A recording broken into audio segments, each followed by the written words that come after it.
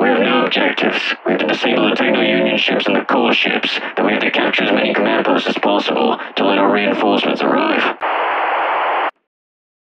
Separatist commander has escaped. I repeat, Separatist commander has escaped. Emergency message from Coruscant. Order 66 has been initiated. Any and all Jedi leadership must be executed for treason against the Republic, as well as any soldier that defies the order. I will continue to update as we go.